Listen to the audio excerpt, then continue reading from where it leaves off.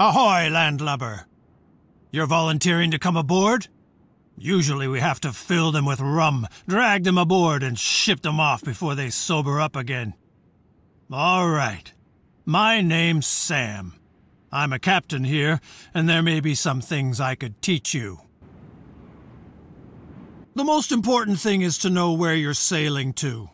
Climb into the lookout, take the telescope, and look around.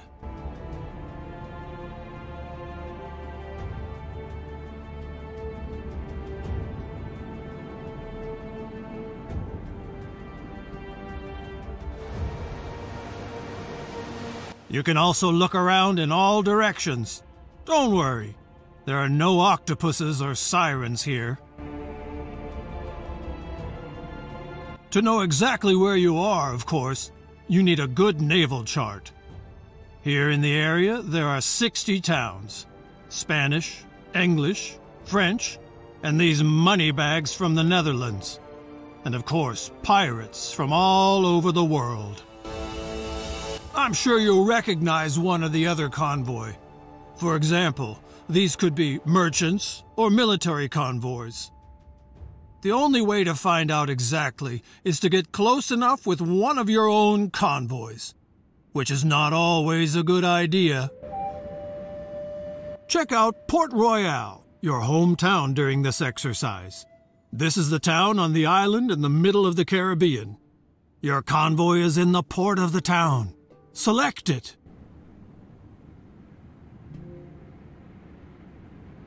No vessels, no trade. It's as simple as that. Such a convoy consists of up to 10 ships. But for you, one is fine for now. Until you can hire sailors and a real good captain, you'll have to show that you can handle yourself. Take a look at the different parts of the convoy.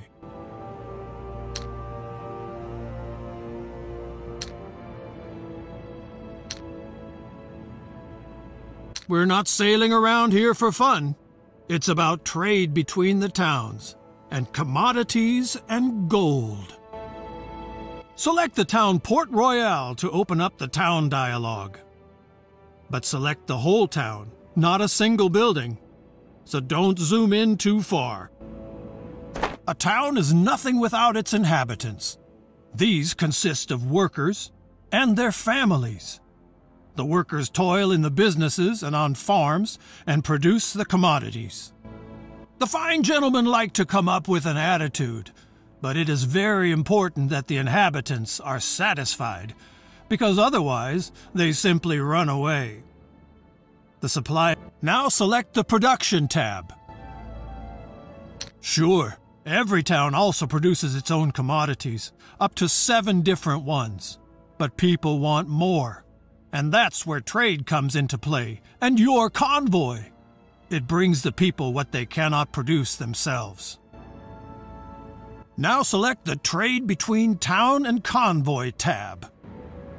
Everything that people want can be found on the market, or maybe not, and then they get dissatisfied.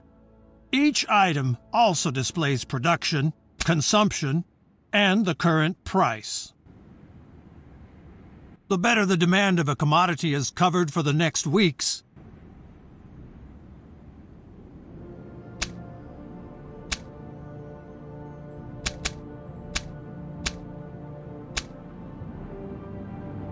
The lower the price. That makes sense, doesn't it? So commodities produced in a town are usually quite cheap. Now select grain and buy 20 barrels.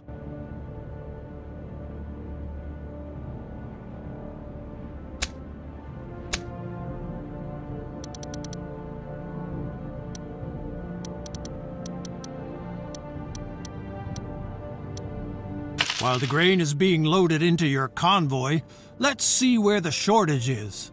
There you can then sell the commodities with profit and make people happy at the same time. Now close the town dialogue. If you zoom out of the map far enough, you will see more towns northeast of Port Royal.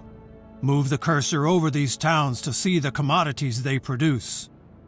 Tortuga looks good. Send your convoys there. Make sure the whole town lights up when you send a convoy there. After all, he's supposed to dock in the harbor and not drift around outside the town.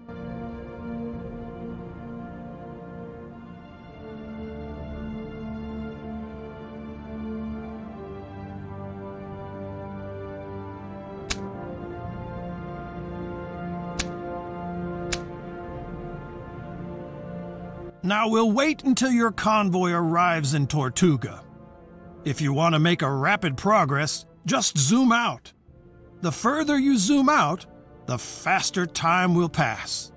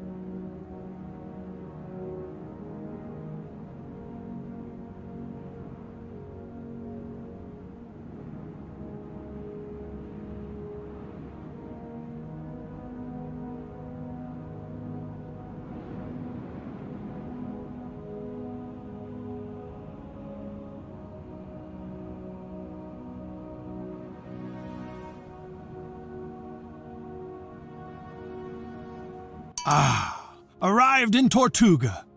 No evening without beer, rum, and brawls. So open the town dialogue.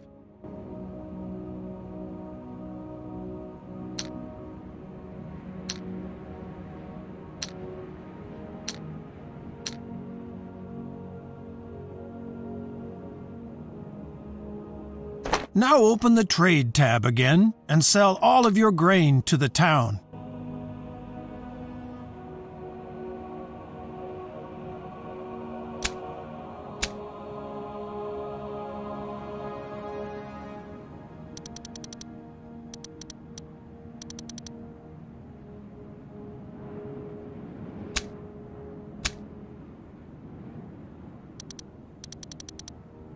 Great! You still have to get used to all the commodities and prices, but through trade you can earn the most money. For this, I offer a special course about the Caribbean economy. And there is also a lesson about creating automatic trade routes. By the way, in Port Royal, they need wood. Buy 50 units and return to Port Royal. There is work to be done at the shipyard.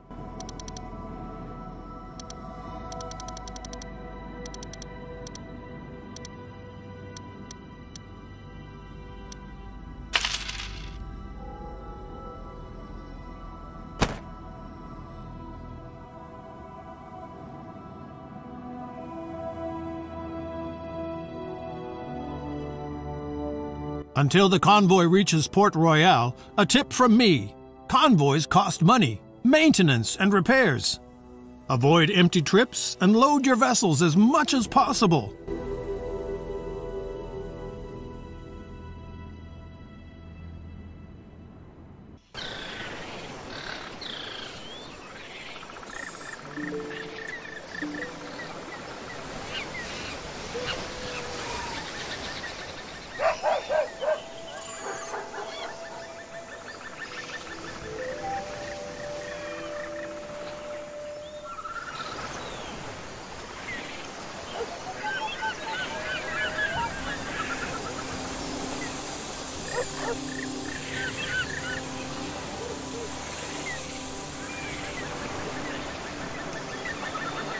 Port Royal, the smell of seaweed, old fish, and hope for prosperity.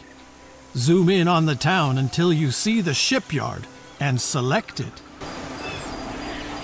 Convoys that are on the road a lot, the shells have to be scraped off regularly.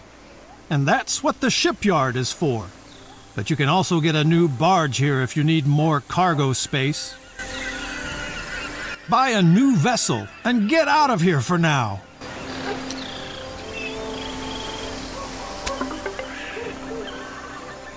Your vessel is still in the shipyard and you can't even see it. You have to add it to a convoy first or convert it into a new one. We do that at the lighthouse. Select it. On the left, you can see the selected convoy and your unused vessels on the right. By selecting a vessel, it switches sides. That way you can enlarge, reduce, or dissolve convoys. If no convoy is selected, you can create a new convoy with free vessels. Now add your new vessel to the existing convoy. Not bad for a landlubber. The basics are in place. One more thing. Whenever you come across one of these info icons, you can use it to open the appropriate pages in the manual for Caribbean merchants. Try it. The info icon will always bring you to the right place in the manual. You can also open the manual at any time and just browse through it. All right, you've got the basics down, I hope. But there's a lot of people out there just waiting to make a rookie like you walk the plank. So I'm recommending my other classes as well. Don't...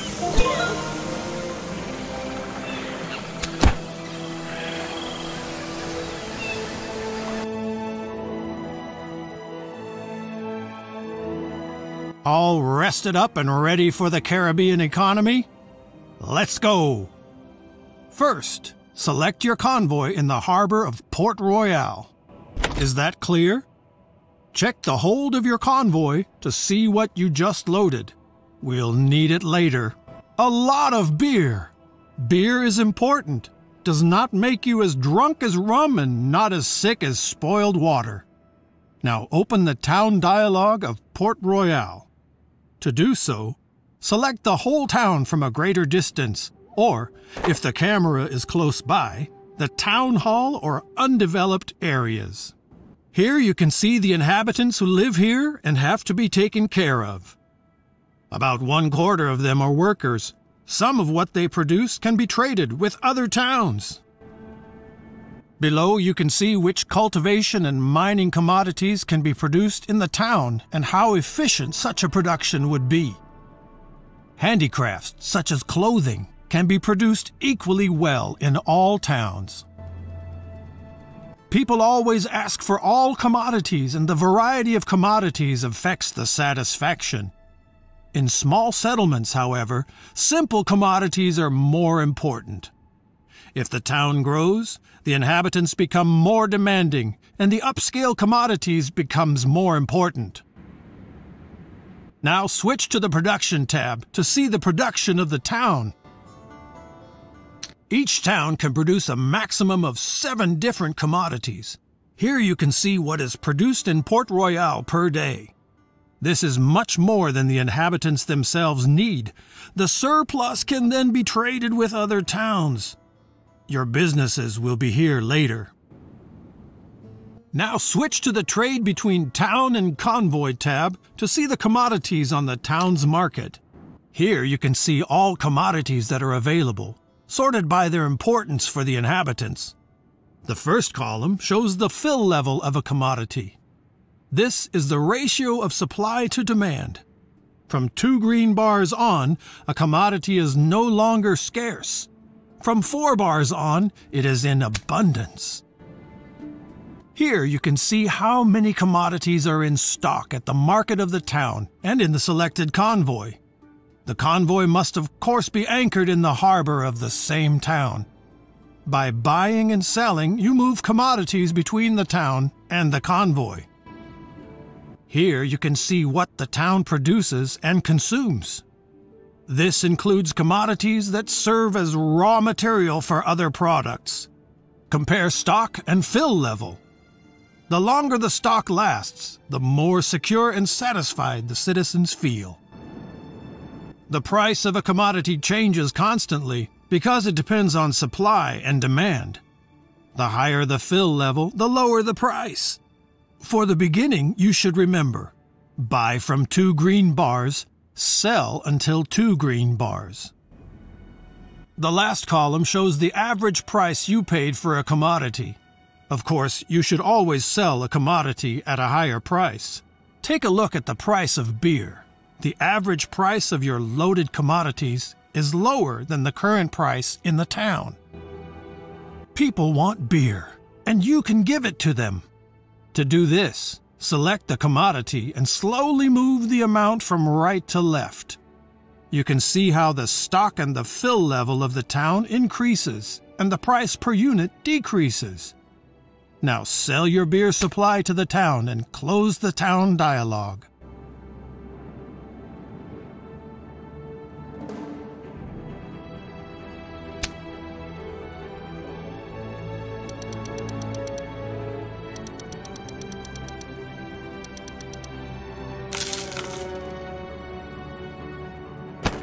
Nice. Now show what you have learned. There's an abundance of grain in Port Royal right now. Buy at least 100 barrels.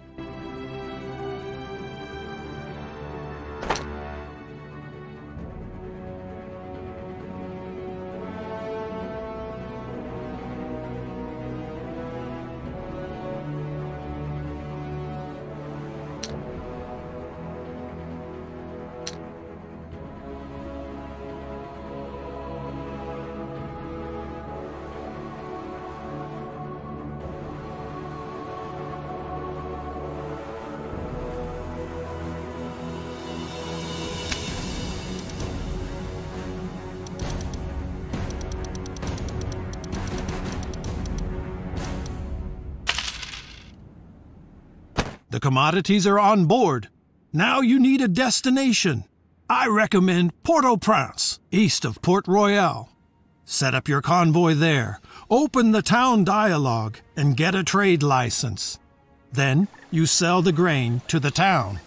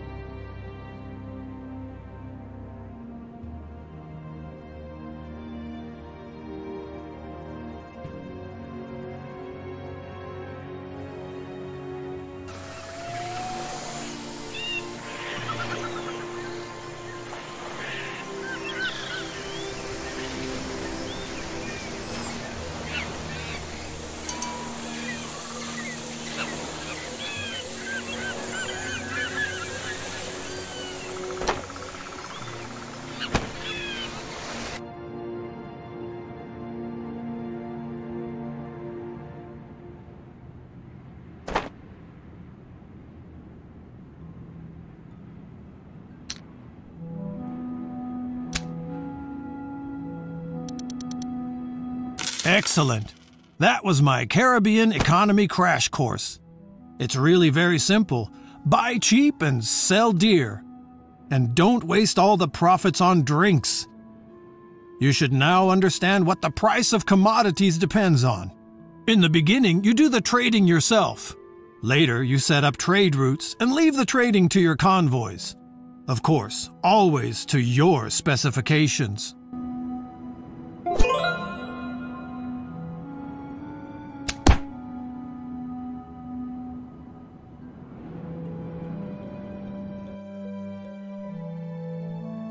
You want to sail comfortably over the sea and enjoy the wind and waves? Then you're in the wrong place.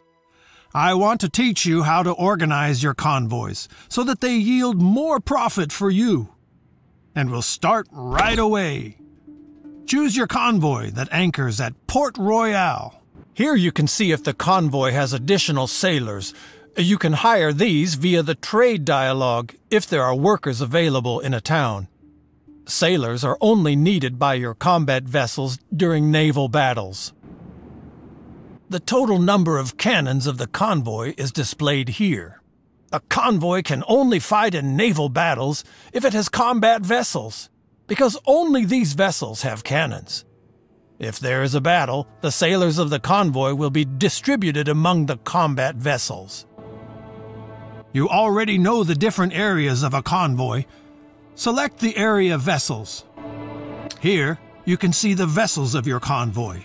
It's important that you understand the difference between a vessel and a convoy. Even if, suppose you buy a vessel in the shipyard, then it will stay there until it belongs to a convoy. Only then it gets a crew and is put into the harbor. From that moment on, you can fill the vessel with commodities and put it to sea. Free vessels are something like dead capital. They are not operational, but they don't generate any costs. Two buildings in the town are important when it comes to vessels the shipyard and the lighthouse. Let's first have a look at the shipyard in Port Royal. Select it to enter it. You have to zoom in close enough to the town, otherwise, you won't be able to select individual buildings.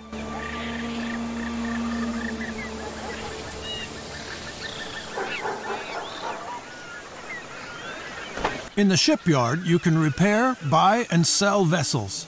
As you can see, the vessel in your convoy could use a little overhaul. Get it done. Great. While the repairs are being carried out, we look at the vessels the shipyard is currently offering for sale. To do so, select the next area in the shipyard. Larger shipyards sometimes offer used vessels for sale. These can come from bankrupt merchants, for example, this is a good opportunity for you to get a new vessel quickly and easily. Just buy the two vessels on offer.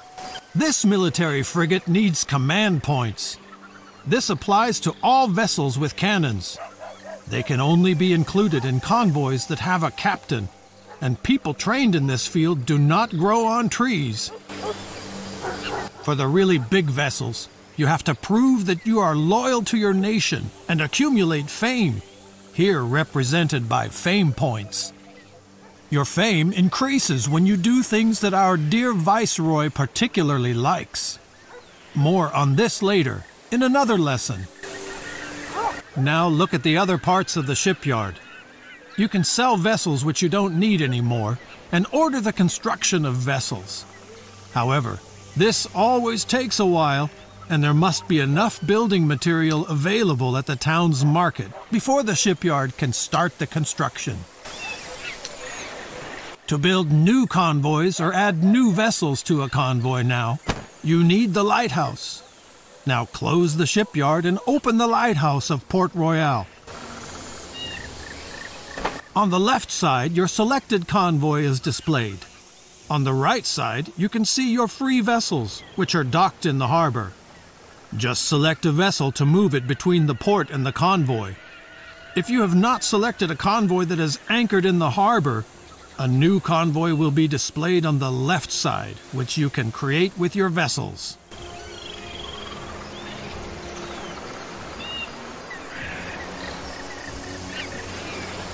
Now close the lighthouse again. We have just talked about captains. Choose the Captain's tab in your convoy. A convoy is ready to go even without a captain, but a captain improves many characteristics and allows to carry armed vessels. Unfortunately, such captains are hard to find, and for each, you need a captain's license. You can get a captain's license from your viceroy, but more about this in a later lesson. If a captain applies to you, this will be displayed here. Now open the captain's dialogue. Here you can see which captains are working for you, or who is applying as a captain. Every captain has other skills that will improve with time. Take a look at everything and then hire the captain. A captain doesn't work for free, so don't forget to assign him to a convoy after you hire him. Otherwise, you'll pay for doing nothing. Now assign the captain to your convoy. Very good. With the help of their command points, captains can lead armed vessels. The higher the level of a captain, the more command points he can use. And that concludes this lesson about vessels and convoys. See you soon!